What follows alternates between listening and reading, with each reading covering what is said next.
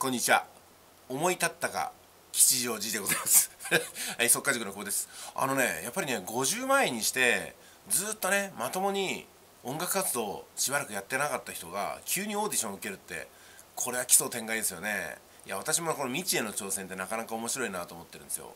というのも私ね40過ぎてからプロボクサーになろうと思ってたんですよね、まあ、でも年齢の制限があってダメだよって言われてそれまでのトレーニングをねあのもうやめてしまったみたいなところがありますけどもそれからですね実は私ねあの流星ワゴンっていうドラマがあるんですよね。流星ワゴンっていうのをご存知です？ちょっと分かんなかったら検索してもらいたいんですけども、えっと、日曜ドラマシリーズで、えー、あの香川照之さんが出ていたねあの番組なんですけどもあのミスター M さんの好きなね西島さんもあの出ていたというやつですけどもこの流星ワゴンっていうのはね私の住まい福山のその友の浦っていうところがモデルになってるんですよ。でロケにもかなり来ていたらしいんですけどもそこでですねエキストラ募集みたいなのがあってオーディションがあったんですよ。でオーディションは広島市内だったんで私ね住まいの近くでオーディションやってたんで当たり前ですけど受けに行ったんですよね。いや YouTuber の俺がお前地上波ぐらいにビビってられっかよみたいな感じで行ったんですけどもまあ落ちましたよね。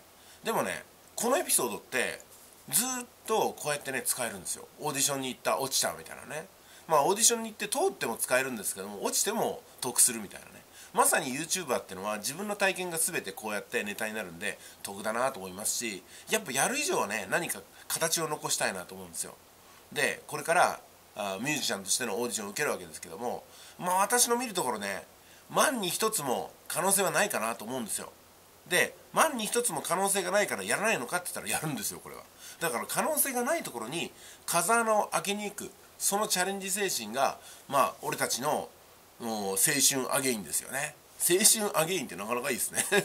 青春アゲイン3人組とかでねちょっとおじさんチーム作ろうかなと思ってるわけですけども。青春アゲイン。だから花龍馬さんはねあのー、青春なんですかね土俵際みたいな感じで言ったんですかね。まあすいませんけども。まあでもねやっぱ青春って言ったらギリギリ20代までかなと思うんですよ。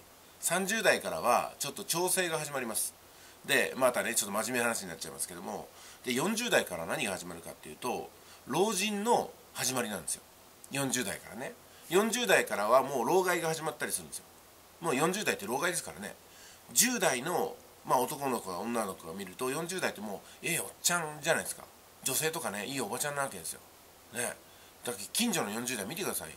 おばさんって言うでしょ。もう素直なとこですよ。近所のおじさん。ね。男の人はおじさんでしょ。だこういう感じなんですよ。だから心は若いつもりでいる。それはね大事なんですよ40代。でもやっぱり客観的に見たら芸能人でもない限りいやもうおじさんなんですよね。おばさんなんですよね。いやこれを認めてそして認めるからこそ若くありたい美しくありたいと男性も女性も思っていかないといけないしあらゆることにチャレンジしていかないといけないと思うんですよね。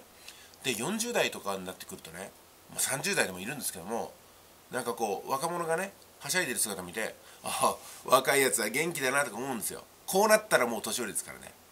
若いやつは元気だなじゃなくておいちょっとよしてくれみたいな感じでね。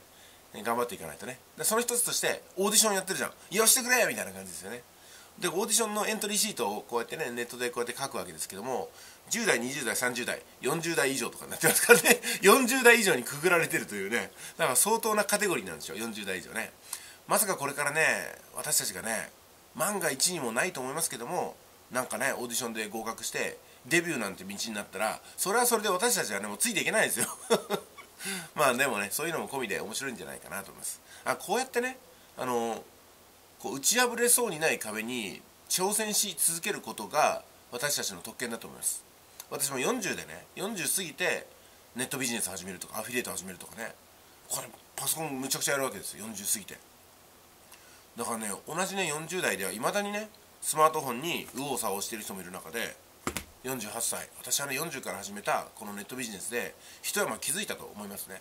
だから40過ぎても何でもできると。何にもできなくても何でもやれるみたいなね。年齢を言い訳にするなという姿を言葉ではなく態度で見せていきたいなと思いながら今回の挑戦にね熱くかけていこうかと思いますね、えー、松潤さんとね、え、山根さんそして花井龍馬さん。まだ参加するやついるかな？うん。まだね参加する。女の子の参加してほしいね女の子の。ゆっこさんとかアイドルゆっこさんとか参加しないかな、うん、ちょっと難しいかな？ということでいってらっしゃい。